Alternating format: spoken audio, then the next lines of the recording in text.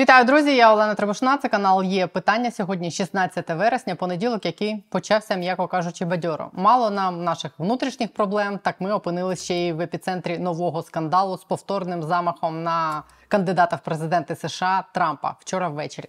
І це може бути небезпечно з огляду на деталі історії, які тільки почали озвучувати американські змі, і в яких фігурує те, що називають українським слідом.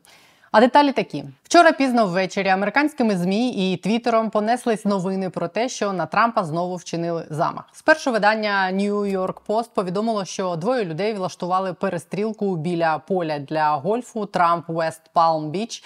І нібито цілились вони один в одного, і стрілянина велась не по Трампу. В команді Трампа прокоментували одразу, що Трамп у безпеці і стрілянина була за межами його клубу. Втім, вже за кілька годин вночі, за нашим часом, ФБР повідомило, що таки розслідує те, що виглядає як замах на вбивство кандидата у президенти Сполучених Штатів Дональда Трампа. Американські телеканали сьогодні вже вранці повідомили перші подробиці нападу, в яких згадувалась Україна.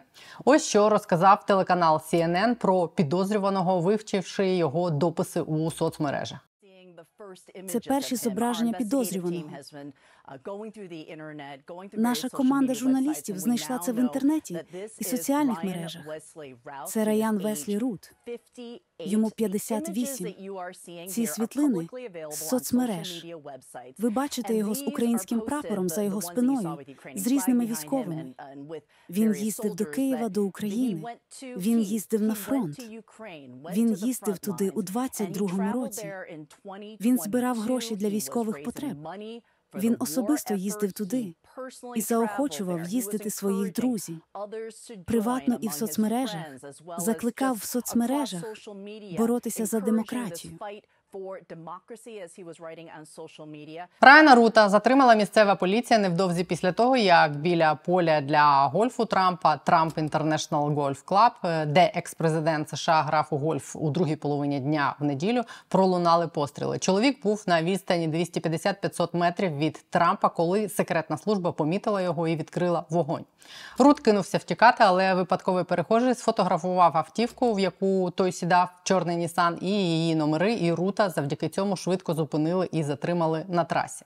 Стрілянина, про яку спершу змі написали як про випадкову, почалась після того, як один з агентів секретної служби помітив гвинтівку в паркані яким було обнесено поле для гольфу. Служба охороняє Трампа як кандидата у президенти і охорону посилили після попереднього замаху на Трампа. Після того провалу спецслужб її керівниця нагадаю звільнилась. Агент секретної служби знаходився за кілька лунок від колишнього і, можливо, майбутнього президента США. Помітив ствол гвинтівки, що стирчав з паркану, і почав стріляти. Гвинтівку і речі Рут кинув тут же в кущах. Правоохоронці знайшли там автомат АК-47 з оптичним прицілом, два рюкзаки, які висіли на паркані, і камеру GoPro, з якою підозрюваний сидів у кущах. Американські змі сьогодні ясна річ розповідають все, що їм вдалося дізнатись про Райана Рута, і звичайно про його проукраїнські дописи і поїздки в Україну теж розповідають. Washington Post пише, що на одному з краудсорсингових сайтів для збору коштів в 22-му році жінка на ім'я Кетлін Шафер писала, що вона збирає кошти на підтримку свого нареченого Райана, який цитую поставив життя вдома на паузу і поїхав до Києва в квітні, щоб підтримати народ України. Жінка писала, що він поїхав на три місяці, живе в гуртожитку при військовій частині і нібито координує роботу міжнародних волонтерів і допоміг відправити 120 дронів на передову. Як з'ясувалось, американські змі вже писали про Рута раніше і навіть з ним спілкувались у 23-му році. Рут дав інтерв'ю New York Times для статті про американців, які допомагають Україні. Рут розповідав тоді журналістам телефоном, наприклад, що він хотів залучити афганських солдатів для участі в бойових діях на боці України, бійців, що втекли від Талібану. У нього був план доправити їх, зокрема нелегально з Пакистану та Ірану в Україну, наприклад, купивши в Пакистані їм паспорти. Стверджував, що десятки нібито виявили інтерес. При цьому дописи Рута, які знайшли в соцмережах за минулі роки, натякають на те, що чоловік міг бути не зовсім при собі. Ось деякі з них. У 2022 році в коментарях раднику банкової Михайло Подоляку в Твіттер Рут писав, наприклад, таке: я особисто куплю польські винищувачі Миг 29 і літатиму вночі низько над землею, влучаючи в кожне місце, де спить Путін. Лечу в Україну. Чи можете позичити мені системи протиповітряної оборони Петріот? Писав він одному з американських сенаторів. Ти і я ми повинні купити літаки в Польщі. Це він писав актору Шону Пену. Тобі вони не зможуть відмовити. Я в Києві щодня на майдані Незалежності. Нашому РНБО Рут писав в коментарях: у мене є 20 тисяч афганських і сирійських солдатів, які рвуться воювати, і можливість привезти їх в Україну. Так само він пропонував 50 тисяч афганських солдатів Тайваню. Протестувальникам у Білорусі ще в 2020 році Рут радив купити на Амазоні снайперські гвинтівки і писав, що ніколи не дозволив би пакувати своїх друзів в автозаки, була би кривава бійня. Співака Елтона Джона Рут питав, чи не може той допомогти з піснею для України, щоб збирати більше коштів, і казав, що у нього є текст. А північно-корейському лідеру Кім Чен Іну Рут писав, що він, лідер Гаваїв, запрошував приїжджати у відпустку на Гаваї і обіцяв все організувати. Крім запрошення Кім Чен Іна на Гаваї, в принципі, багато хто, мабуть, пише такі коментарі в соцмережах, а багато хто з вас таке ймовірно лайкає. Але мало хто з тих, хто подібне пише і лайкає, намагається вбити Трампа. Крім цього, американські змі пишуть, що Рут написав книгу на 300 сторінок минулого року про своє розчарування тим, як розгортається війна в Україні. Книга продавалась по 2,99 долари за примірник. Ось фрагмент з анотації до неї на Amazon, який пише очевидно сам Рут. Провівши 5 місяців в Україні, я почав розуміти, що Україні неможливо виграти цю війну, і що світ не повинен мати сподівань на те, що це можливо. І я вважаю, що я повинен чітко дати зрозуміти, що, хоча Україна не виграє на нинішньому шляху, для світу вкрай важливо, щоб вони виграли. І тому ця книга така важлива, щоб ми всі визнали, що програш це не варіант, і що ми повинні зробити все, що ви щоб виграти. Очевидно, я написав це не для того, щоб заробити гроші, оскільки це абсолютно не важливо. Надзвичайно важливе питання полягає в тому, що ми щодня відкрито обговорюємо основні проблеми, з якими стикається Україна, і те, що ми повинні спробувати зробити, щоб їх вирішити. Це конфлікт глобального значення, і його результат вплине на кожного з нас і в усьому світі. Це трагічно, що ми надто незрілі як лідери. Книга, як описують її зміст американські змі, містить вражаючі фотографії, зокрема обезголовлень, вбитих дітей і закривавлених трупів. Книзі Рут нарікає на те, що Україна не отримує належної підтримки від світових лідерів і запитує, чому Путіна не вбили. У розділі, присвяченому Ірану, Рут писав, що він має взяти на себе частину провини за обрання, я цитую, безмозкого президента, очевидно, маючи на увазі Трампа. Можете вбити і мене, і Трампа за цю помилку. Цитує Washington Post фрагменти книги. Ніхто тут в США, здається, не має сміливості задіяти природний або навіть неприродний відбір.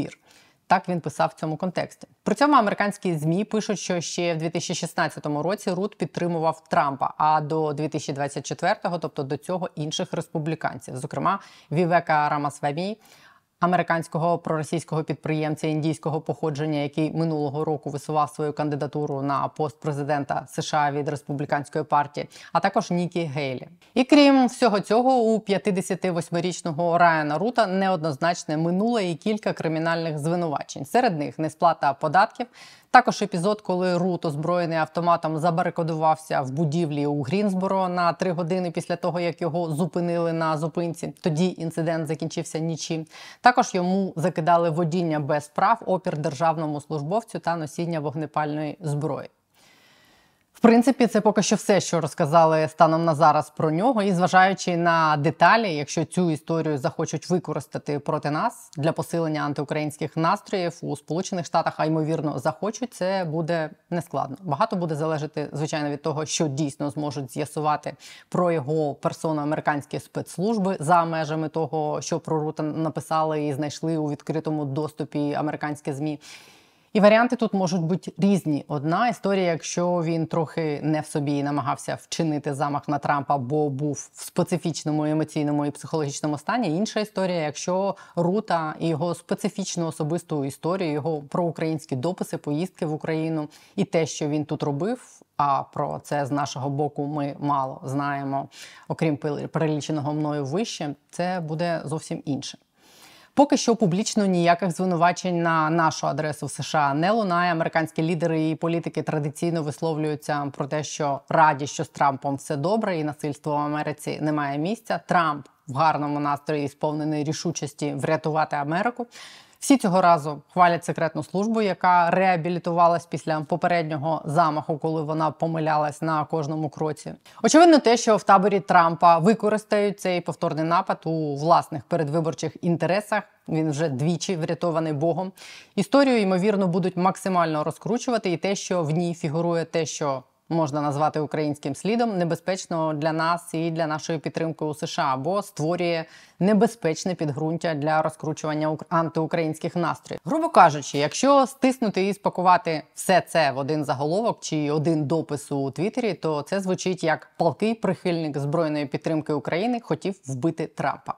А далі заголовків, на жаль, більшість людей не читає і не розбирається в деталях. Тому зараз Україні очевидно дуже важливо було б включити усіх дипломатів і публічних спікерів і озвучити в першу чергу американським змі українську позицію і щодо самого нападу, і почати. Спростовувати можливі спроби прив'язати будь-яку нашу причетність до цього замаху на кандидата у президенти США, якщо вони будуть.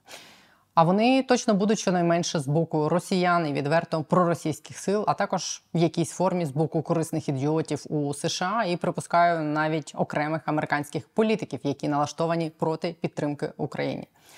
Для них це буде зайвим аргументом, який підкреслюватиме їх правоту. Тому стежимо, як буде розвиватися історія, як будуть діяти наші дипломати. Це може бути першим іспитом для нового голови МЗС. У мене поки на цьому крапка. Не забудьте поставити вподобайку, підписатись на є питання. І головне, не забудьте про наш збір на безпілотний комплекс Сич на 100 кілометрів для 12-го загону спецпризначення. Ми з вами зібрали вже мільйон 600 тисяч. Майже залишився ще мільйон. Давайте добивати. Ніхто нас не врятує, крім нас самих. Також нагадую про наші футболки на маркетплейсі Каста, весь прибуток від продажу яких також передається цьому загону. Всі посилання і реквізити в описі під цим відео. Бережіть себе спокійного дня до завтра.